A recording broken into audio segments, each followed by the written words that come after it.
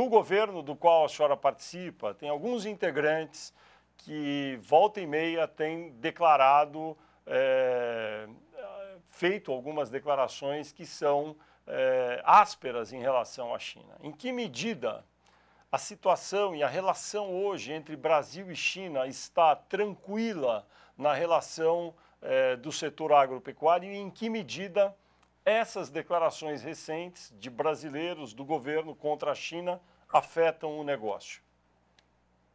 Olha, é, eu acho que são declarações individuais, não são declarações do governo. O presidente é, conhece é, os números das exportações, sabe que hoje que a China é importante para o Brasil, não só para o agro brasileiro, mas para a exportação de petróleo, exportação de minérios.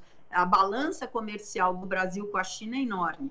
Né? Só para você ter uma ideia, eu vou lhe dar aqui os dados desse primeiro trimestre de 2020, em relação a 2019.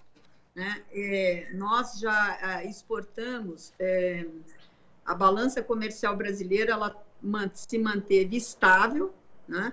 E é, nós exportamos agora no agronegócio é, 13% a mais é, do que do, no ano passado.